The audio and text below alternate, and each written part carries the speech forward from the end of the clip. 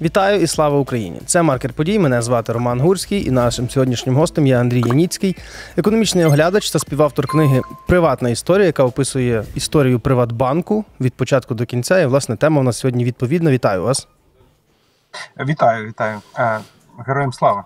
Так, е, тема сьогодні в нас, як я вже казав, відповідно, це олігархат. Зародився він у нас за кучми, це ми знаємо добре. Пінчук, Ахметов, Коломойський і багато інших прізвищ. І от е, почалася повномасштабна війна. І от питання перше таке: як на них вона вплинула? І от що сталося з їхнім впливом на українську політику? Зріс, не змінився, в когось змінився. Коломойський, знаємо, зараз сидить в СІЗО, до нього ми ще повернемось.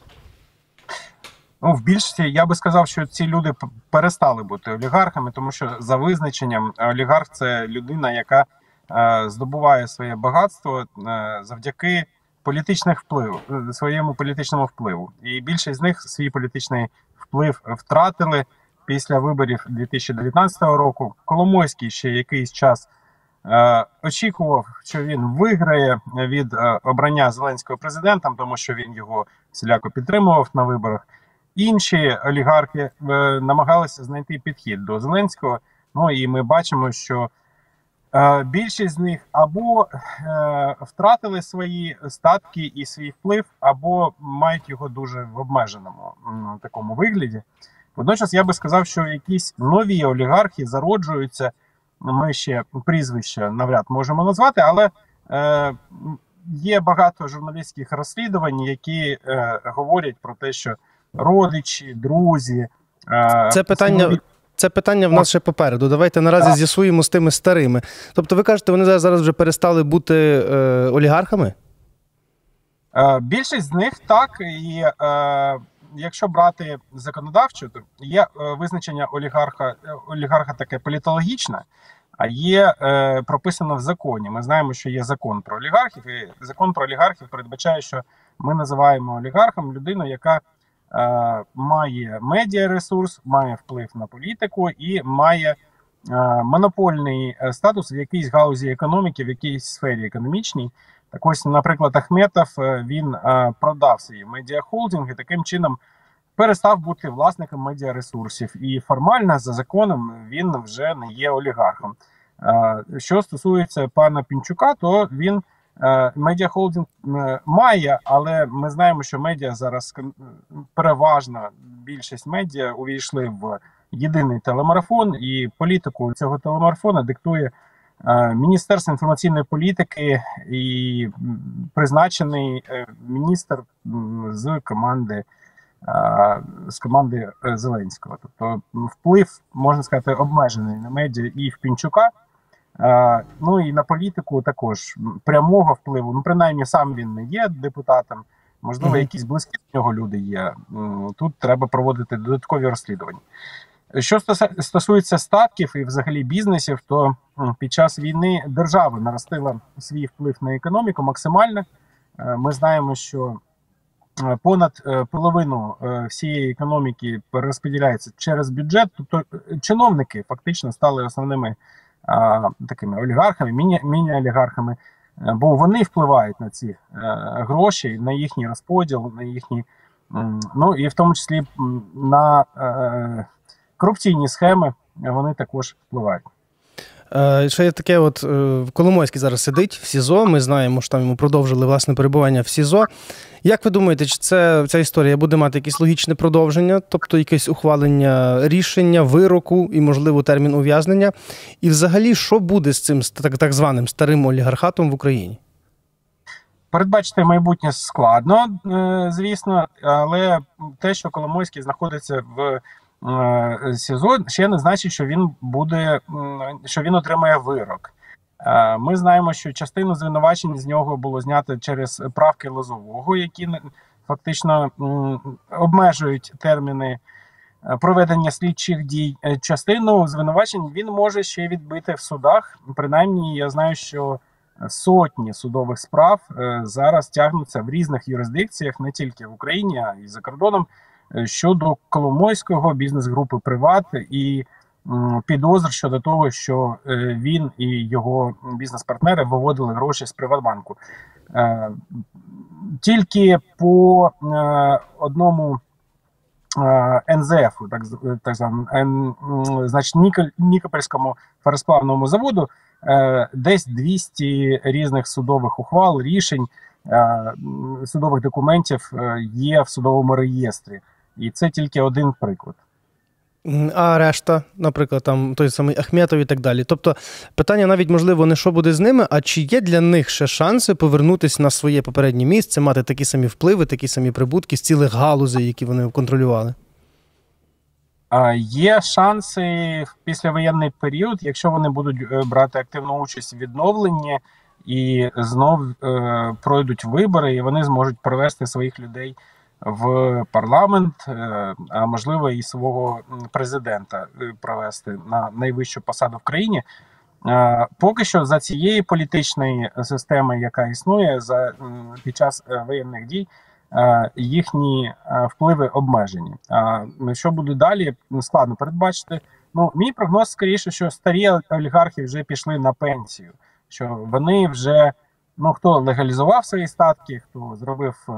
Ну от як Ахметов, наприклад, вони платять податки, структурували бізнес, намагаються бути такими серйозними е, бізнесменами. А ось нові е, олігархи, які тільки зароджуються, ось вони будуть впливати на майбутнє України більше.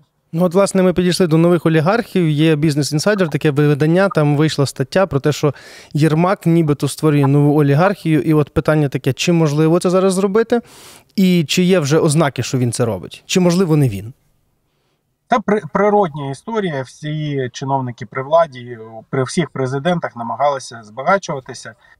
І е, тут е, повторюся, є багато журналістських розслідувань, що друзі, знайомі е, співробітників офісу президента мають якісь преференції по бізнесу. Ну, зокрема, такі прізвища, як Татаров, такі прізвища, як Шурма, звучать в журналістських розслідуваннях доволі часто. Ну і Єрмака самого також згадують. Тому е, тут можна очікувати, що люди, які мають важливі впливу на українську політику, на українську економіку. Е, можуть і для себе забезпечити е, старість таку безбідну. Е, подивимося, що буде далі, тому що ми бачимо все ж таки політичний процес навіть під час війни не припиняється в Україні. У нас є опозиція. Ми на щастя залишаємося демократичною країною. В нас є вільна преса, є журналісти-розслідувачі. Тому всі є всі надії, що все ж таки не, не буде зацементований цей порядок який існує зараз, що ми зможемо завдяки політичній конкуренції мати і економічну конкуренцію, і е, не дамо сформуватися тому цьому новому прошарку олігархів. Ну, от, власне, підійшли ми до останнього питання: а що ж робити? Наприклад, в Америці є закон про лобізм. Там також є корпорації, є дуже багаті люди, але такого одноосібного впливу вони не мають. В них є реально працює демонополізація і, от, власне, нормальний здоровий лобізм. Що робити в Україні? Чи є в нас шанси, що ми, так би мовити, якось трошки приборкаємо цих надто багатих людей? Е, Європейський союз від нас вимагає прийняття такого самого закону про лоби, про лобізм. Ми його не встигли прийняти. Е, до е, кінця року ну ще є час, можливо, ще приймуть, але е, правила мають бути е, таких впливів політичних прозорими, е, щоб ми розуміли, яка компанія за що платить, і які інтереси намагається просунути. Це нормально, це цивілізовано. Е, це перша теза. Друга теза, що потрібна реформа антимонопольного комітету. Звісно, е, він зараз не виконує свої функції. Ми знаємо про монополії в багатьох сферах. Е, вони погано контролюються, порушники погано притягаються до відповідальності. Ну і судова реформа, судова система в нас не працює як слід. Досі в серед суддів багато людей, які не є доброчесними е, навіть в наших е, найвищих судових інстанціях. Ми бачимо розслідування щодо статків суддів, на яких машинах вони їздять, яке майно вони мають. І дуже часто це не можна пояснити наявність такого майна просто легальними доходами цих суддів. Вочевидь, нам потрібно перезавантаження судової системи. І е, наостанок я би сказав, що ось такі спеціальні закони про олігархів або е, про скажімо, так, от закон про олігархів він -hmm. не є е, не є е, вирішальним. Тобто, це такий красивий популістичний закон, що давайте ми е, приберемо вплив олігархів. Але з такими законами він не прибирається. Те, що Ахметов продав е, свої медіа імперію, е, ну він зі своїми статками може е, дозволити собі просувати свої інтереси в медіа, які йому і не належать, і доволі ефективно. Більше того, вплив традиційних медіа скорочується. Зараз е, соцмережі вирішують дуже багато комунікаційних питань. Йому не обов'язково мати свій телеканал або свою газету для того, щоб доносити свою точку зору. Він це може робити через той самий Фейсбук, Ютуб, Телеграм. Для цього не треба мати ліцензію Національної ради з телебачення та радіомовлення. То що нам треба, аби ухвалити всі ці речі в нормальних в нормальному вигляді, а не щоб вони не були популістськими? Тобто тут що бракує? Політичної волі чи чогось більшого? Е, бракує політичної волі, бракує, звісно, бажання в е, влади е, діяти в прозорий спосіб. Але громадянське суспільство, я сподіваюся, дотисне це питання. Ну і разом з нашими іноземними партнерами, спонсорами країни, кредиторами, які також від нас від нас цього вимагають. Думаю, що тяжко, важко, але ми все ж таки пройдемо цей шлях, і буде в нас і закон про лобізм, і реформована судова система, і антимонопольний комітет. Питання тільки скільки на це піде років. Тобто за допомогою, а подекуди і під наглядом Європи, США і інших наших е, партнерів.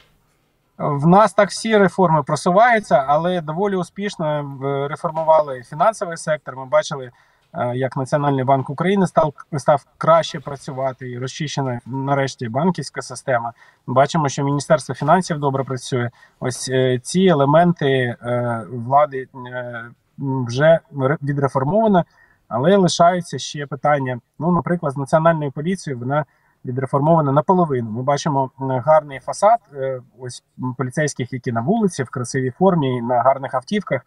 А ось в кабінетах лишаються е, ті самі поліцейські, які були і до реформи. Тут ще треба повибити реформу. Ми бачимо, що намагалися функцію контролю е, над бізнесом забрати в різних силових органів і передати всі їх в бюро економічної безпеки. А на жаль, бюро економічної безпеки працює Ну, так само, як і працювали раніше СБУ КАТ, та, там, комерційний підрозділ, як його називали, або інші силові органи. Е, тобто в нас є багато запущених реформ, які не доведені до кінця, але є гарні приклади. Ось як з фінансовим блоком. Ще я б додав е, реформу закупівель, тобто Прозоро, це вже бренд, який знають у всьому світі.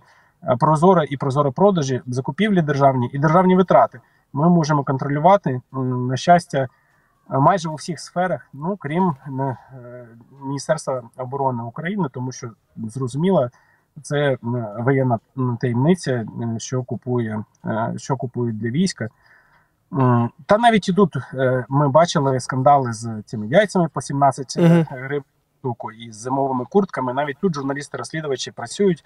От я б сказав, що вільна преса це запорука того, що реформа буде доведена до кінця. Це вже було останнє останнє питання. Дуже дякую вам за розмову. Дякую вам. Нагадаю, нашим гостем був е, гостем був Андрій Яніцький, економічний оглядач та співавтор книги Приватна історія. Радимо почитати. Там багато цікавого. Мене ж звати Роман Гурський. Дякую за те, що ви нас дивитесь, що ви нас слухаєте. Підписуйтесь на канал, ставте лайки, поширюйте українське і проукраїнське. І не забувайте, наша русофобія чи то росопатія ніколи не буде достатньою.